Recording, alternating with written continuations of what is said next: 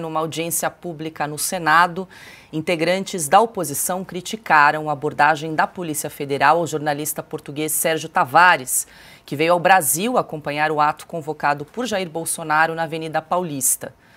Os parlamentares ficaram insatisfeitos com as respostas do diretor da, de Polícia Administrativa da instituição, o delegado Rodrigo de Melo Teixeira, e decidiram pedir ao presidente da Comissão de Segurança Pública do Senado, Sérgio Petecão, que envie à Polícia Federal um conjunto de nove perguntas para então esclarecer o caso Carlo Cauti, eu quero te ouvir. Nós trazemos mais detalhes aí no site revistoeste.com com todas as perguntas que foram enviadas aí por esse grupo de senadores, mas esse documento aí traz questionamentos como, por exemplo, qual declaração do jornalista português foi considerada uma ameaça à honra das autoridades? Os parlamentares também querem saber se todos os turistas que visitam o Brasil têm suas redes sociais monitoradas, a exemplo do que ocorreu aí com o jornalista Sérgio Tavares. Também se nas perguntas aí de natureza política, caso um turista faça críticas aos poderes constituídos do Brasil, se essa pessoa será impedida de entrar no país. Tá aí, então, a gente está exibindo na tela algumas perguntas que foram feitas aí à Polícia Federal, no caso do jornalista português. No entanto, aí não, não tem prazo, né? Não há prazo aí para a corporação responder a essas perguntas, a esses questionamentos dos senadores. Não, pois é, Paula, isso aqui é um absurdo de um tamanho que nesses casos a, a, Constituição brasileira vai por autocombustão a um certo ponto, né? Porque é uma série de irregularidades. Primeiramente, é um desrespeito por parte do chefe da Polícia Federal, o Andrei Rodrigues, que sequer se apresentou frente aos senadores explicando o que aconteceu no dia 25 de fevereiro, quando um cidadão português, um jornalista português, chegou ao Brasil, ele foi individuado, se, é, separado da fila é, dos é, que estavam chegando, que estavam verificando os passaportes, colocado numa sala por horas horas e interrogado, questionado com coisas sem nenhum cabimento, nem jurídico e muito menos, diria até moral, perguntando o que, que, ele achava sobre o Supremo Tribunal Federal no Brasil. Isso não é problema da Polícia Federal, é problema dele. Porque no Brasil, diferente daquilo que o, uh, o delegado que foi falar com os senadores declarou, não existe crime de opinião. Você pode pensar, achar e dizer o que você bem entender, porque a liberdade de expressão é total, muito mais fora do Brasil. E esse é o absurdo maior. A Polícia Federal admitiu em uma audiência no Congresso Nacional que está monitorando jornalistas estrangeiros na base daquilo que ele, as opiniões que eles expressam. Assim, é a Polícia Federal, não é a Polícia Política do Brasil, não é o KGB. Não existe a Gestapo no Brasil. Existe a Polícia Federal que deveria verificar, deveria investigar possíveis crimes cometidos dentro do Brasil, eventualmente temos uma agência chamada ABIN para analisar eventuais ameaças contra a segurança nacional fora das fronteiras nacionais, não a Polícia Federal. E não me parece que um jornalista português que critica ministro do Supremo Tribunal Federal ou eventualmente urnas eletrônicas seja uma potencial ameaça à segurança nacional do Brasil. Isso não tem cabimento nenhum. Nenhum.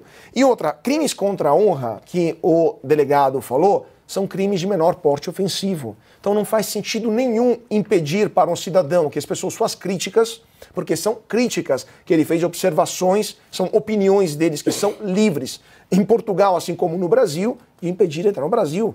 Isso não existe. Isso, e só para terminar, Paula, isso se junta ao tapa na cara que os Estados Unidos deram na Polícia Federal Brasileira e no governo federal, especialmente no Ministério da Justiça, durante a gestão de Flávio Dino, quando o governo brasileiro pediu a extradição de Alan dos Santos e os americanos deram um redondo não porque nos Estados Unidos não existe crime de opinião. Ele está sendo acusado de algo que simplesmente é um absurdo. Não existe nem no Brasil, na verdade. Tudo aquilo que o delegado falou naquela, naquela comissão não existe no Brasil. Ele inventou crime. Ele chegou a dizer que tem algo que tange um crime. O que, que tange um crime? Assim, o Código Penal, alguém deveria perguntar se esse delegado passou no concurso fazendo um negócio de direito de, do Código de Procedimento Penal e do Código Penal. Não existe um crime tangente. Ou é crime ou não é. Então, uh, terminando, o Brasil está se tornando uma ditadura por esses e outros pequenos, médios e grandes acontecimentos que mostram como o a primeiro órgão a desrespeitar a Constituição e o Código Penal é a própria Polícia Federal. E me surpreendo como os senadores não vaiaram o delegado no momento que ele falou algo assim, porque é um absurdo de tamanha é, proporção que deveria ter sido contestado na hora, não com perguntas apresentadas depois, sem prazo para responder.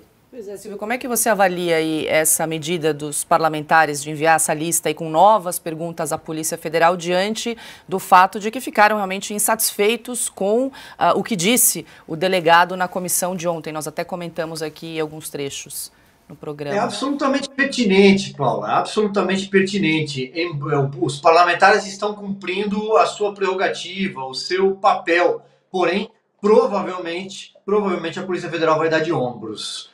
Agora, é, eu queria pegar um aspecto uh, que o Carlos acabou de trazer aqui, sobre aquilo que beira o crime, que tange. Queria é, pedir para a nossa produção colocar na tela um tweet publicado pelo advogado constitucionalista, especialista em liberdade de expressão, o André Marcília. E ele diz: ontem repercutiu muito que na audiência do Senado admitiu-se que o jornalista português Sérgio Tavares vinha sendo monitorado em suas redes pela polícia. Mas há outro ponto que considero igualmente grave, e aqui a gente deve chamar atenção. Foi dito que as manifestações monitoradas beiram o aspecto criminal, flertam com a criminalidade. Crime não tem beira, nem faz flerte. Se no entendimento da polícia ficou na beira, no flerte, então não houve crime e ele não deveria ter sido detido no aeroporto. E ponto final. Isso mostra que houve uma atitude arbitrária por parte da Polícia Federal, porque o jornalista português é alguém que manifesta, que se manifesta nas redes sociais a favor da, do espectro da direita, do conservadorismo, do liberalismo, acompanha os passos do presidente Jair Bolsonaro e, sobretudo, acompanha o que está acontecendo no Brasil. E aí vou utilizar a expressão do delegado, no que tange a liberdade.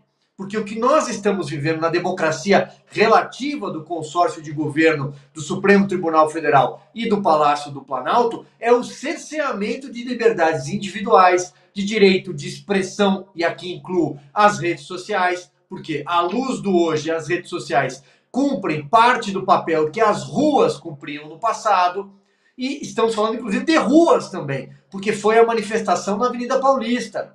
Então, para finalizar, vou relembrar aquilo que tenho repetido. Sempre que a polícia é utilizada de forma política, uma polícia política, para perseguir um CPF, sempre que a mão pesada do Estado é utilizada contra um CPF, e seja esse CPF de quem for, nós não estamos falando de democracia.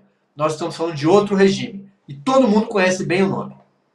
Ele flerta, como é que é?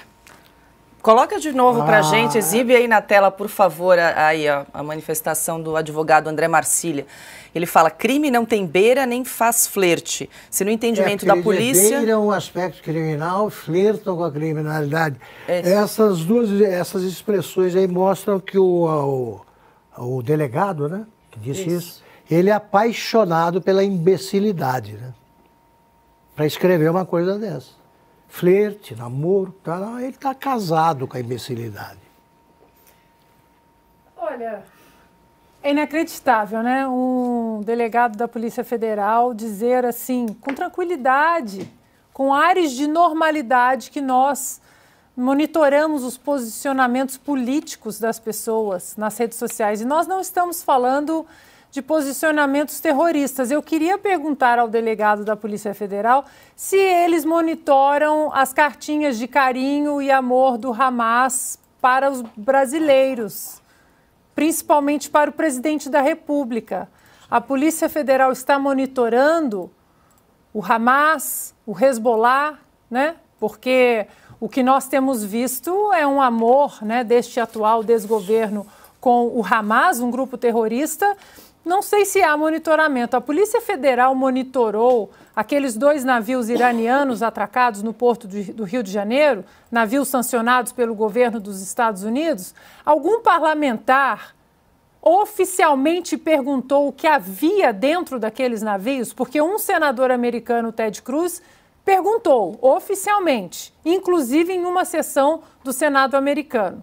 Por que os nossos senadores não perguntam o que havia naqueles navios de guerra do Irã?